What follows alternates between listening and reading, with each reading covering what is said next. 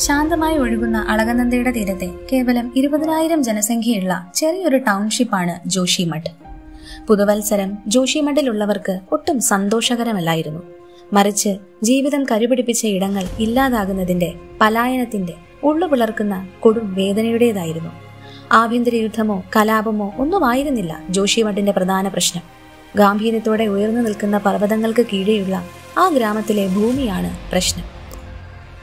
ഉത്തരാഖണ്ഡിലെ പ്രശസ്ത തീർത്ഥാടന കേന്ദ്രം കൂടിയായ ഈ ചെറുനഗരത്തിൽ ഭൂമി വിണ്ടുകീറുകയും കെട്ടിടങ്ങൾക്ക് വിള്ളലുകൾ ഉണ്ടാവുകയും ചെയ്യുന്ന പ്രതിഭാസമാണ് കഴിഞ്ഞ ഏതാനും ദിവസങ്ങളായി നമ്മളെ ആശങ്കയിലാഴ്ത്തുന്നത്.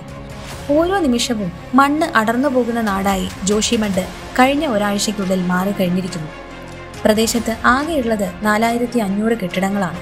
അതിൽ ആയിരത്തോളം വീടുകളിലും വിള്ളലുകൾ കണ്ടെത്തിക്കഴിഞ്ഞു.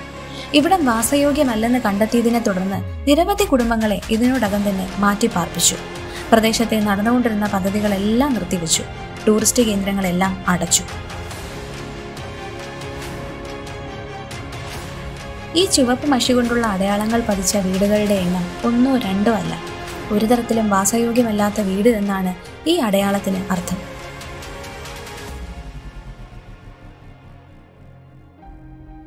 ജോഷിമഠ് മുങ്ങുന്നതിന് പിന്നിൽ പല കാരണങ്ങളാണ് പറയപ്പെടുന്നത്. അതായത് വലിയ തോതിലുള്ള നിർമ്മാണം ജലവൈദ്യുത പദ്ധതികൾ ദേശീയപാതയുടെ വീതി കൂട്ടൽ അനിയന്ത്രിതമായ കെട്ടിട നിർമ്മാണം ഡ്രെയിനേജ് പ്രശ്നങ്ങൾ എന്നിവ. എന്നാൽ ഇപ്പോഴുണ്ടാകുന്ന നാശങ്ങൾക്ക് പൂർണ ഉത്തരവാദിത്തമായി ജോഷിമഠുകാർ ആരോപിക്കുന്നത് അവിടെ വരാനിരിക്കുന്ന എൻ ടി പി സിയുടെ തപോവൻ വിഷ്ണുഘാട്ട് ജലവൈദ്യുത പദ്ധതിക്കാണ് എന്നാണ്. എൻ ടി പി സിയുടെ പന്ത്രണ്ട് കിലോമീറ്റർ ദൈർഘ്യമുള്ള ഒരു തുരങ്ക നിർമ്മാണം. ദേശീയപാത ഉപരോധിച്ചും ഉദ്യോഗസ്ഥരെ തടഞ്ഞും ജോഷി മഡ്ഡുകാർ പ്രതിഷേധിച്ചു. എന്നാൽ എൻ ടി പി സി പറയുന്നത് ജോഷി മഡിനടിയിലൂടെ അങ്ങനൊരു തുരങ്കപാത കടന്നു പോകുന്നില്ല എന്നാണ്. അവരുടെ തുരങ്കം പരിസ്ഥിതിക്ക് യാതൊരു കോട്ടവും തട്ടാത്ത രീതിയിൽ ശാസ്ത്രീയമായി നിർമ്മിക്കുന്നതാണ് എന്ന് എൻ ടി പി സി വാദിക്കുന്നു.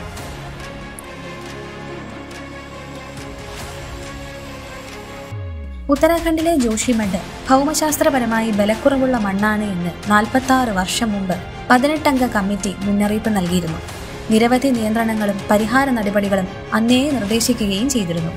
ജോഷിമഠിലുണ്ടായ മണ്ണിടിച്ചിലിന്റെ കാരണം അന്വേഷിക്കാൻ അന്നത്തെ കമ്മീഷണർ ഗർവാൾ മണ്ഡൽ മഹേഷ് ചന്ദ്ര മിശ്രയുടെ നേതൃത്വത്തിലുള്ള കമ്മിറ്റി രൂപീകരിച്ചിരുന്നു. ആയിരത്തി തൊള്ളായിരത്തി എഴുപത്തി ആറ് മെയ് ഏഴിനാണ് അന്തിമ റിപ്പോർട്ട് പുറത്തുവന്നത്.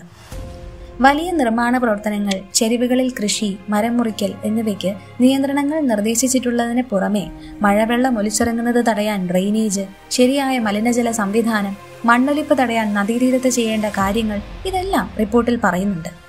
കൃത്യമായ വ്യവസ്ഥകളില്ലാതെ ആയിരത്തി തൊള്ളായിരത്തി അറുപത്തിരണ്ടിന് ശേഷം പ്രദേശത്ത് വലിയ നിർമ്മാണ പ്രവർത്തനങ്ങൾ നടന്നിരുന്നു. ഇത് വെള്ളം ഊറി വരുന്നതിലേക്ക് നയിക്കുകയും മണ്ണിടിച്ചിലിന് കാരണമാവുകയും ചെയ്തു. മരങ്ങളുടെ അഭാവമാണ് റിപ്പോർട്ടിൽ ചൂണ്ടിക്കാണിക്കുന്ന മറ്റൊരു കാരണം. മണ്ണിൽ നിന്ന് വേർപെടുന്ന പാറകളെ തടഞ്ഞു നിർത്താൻ മരങ്ങളും വേരുകളുമില്ല.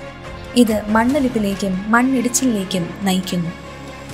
ജോഷിമഡ് മണലും കല്ലും നിറഞ്ഞ സ്ഥലമാണെന്നും ടൗൺഷിപ്പിന് അനുയോജ്യമല്ലെന്നും റിപ്പോർട്ടിൽ ചൂണ്ടിക്കാണിക്കുന്നു. പ്രദേശത്തെ ഡ്രെയിനേജ് സംവിധാനത്തിന്റെ അഭാവവും പ്രകൃതി ദുരന്തത്തിന് കാരണമാകുന്നു. നിർമ്മാണ പ്രവർത്തനങ്ങൾക്ക് മുമ്പ് ഭാരം താങ്ങാനുള്ള ശേഷി മണ്ണിനുണ്ടോ എന്ന് പരിശോധിക്കണമെന്ന് റിപ്പോർട്ടിൽ നിർദ്ദേശിക്കുന്നുണ്ട്. കുന്നിൻ ചെരുവുകളിൽ നിന്ന് പാറ പൊട്ടിക്കാനോ നീക്കം ചെയ്യാനോ പാടില്ല എന്നും റിപ്പോർട്ടിൽ പറയുന്നു. ഇന്ത്യയിൽ ഭൂമി ഇത്തരത്തിൽ താഴ്ന്നു പോകുന്നത് ഒരു പുതിയ പ്രതിഭാസമല്ല. രണ്ടായിരത്തി പതിനാല് പതിനാറ് കാലഘട്ടത്തിൽ ഇന്ദിരാഗാന്ധി അന്താരാഷ്ട്ര വിമാനത്താവളത്തിനടുത്തുള്ള കപശീര പോലെയുള്ള ഡൽഹിയുടെ ചില ഭാഗങ്ങളിൽ ഭൂമി പ്രതിവർഷം പതിനൊന്ന് സെന്റിമീറ്റർ എന്ന തോതിൽ താഴ്ന്നിറങ്ങിയിരുന്നു. ഇന്ത്യയിലെ ഭൂഗർഭജലത്തിന്റെ അനിയന്ത്രിതമായ പമ്പിങ്ങും വലിയ തോതിലുള്ള നഗരവൽക്കരണവുമാണ് ഈ തകർച്ചയുടെ പ്രധാന കാരണമായി കണക്കാക്കുന്നത്.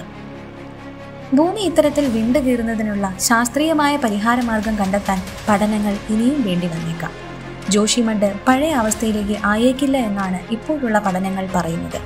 എന്നാൽ ജോഷിമഡിന് പുറമെ അവിടെ നിന്നും അൻപത് കിലോമീറ്റർ മാത്രം ദൂരമുള്ള കർണപ്രയാഗിലും സമാന വിള്ളലുകൾ കണ്ടെത്തിയിരിക്കുന്നതായി വാർത്തകൾ പുറത്തുവരുന്നുണ്ട് രണ്ടായിരത്തി നാൽപ്പതോടെ ഇത്തരത്തിലുള്ള തകർച്ച ലോകമെമ്പാടുമുള്ള നഗരങ്ങളിൽ കഴിയുന്ന ഇരുപത്തൊന്ന് ശതമാനം പേരെ അതായത് ഏകദേശം ഒന്നേ പോയിന്റ് രണ്ട് ബില്യൺ ആളുകളെ ബാധിക്കുമെന്ന് വിദഗ്ധർ ചൂണ്ടിക്കാട്ടുന്നു. ഇത് ലോകത്തിന്റെ മറ്റു ഭാഗങ്ങളെ അപേക്ഷിച്ച് ഏഷ്യയെ കൂടുതൽ ബാധിക്കാനുള്ള സാധ്യതയും തള്ളിക്കളയുന്നില്ല.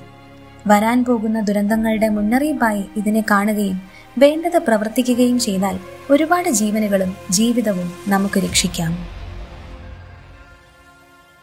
വീഡിയോ ഇഷ്ടപ്പെട്ടെങ്കിൽ ചാനൽ സബ്സ്ക്രൈബ് ചെയ്യുന്ന കാര്യം പരിഗണിക്കുമല്ലോ.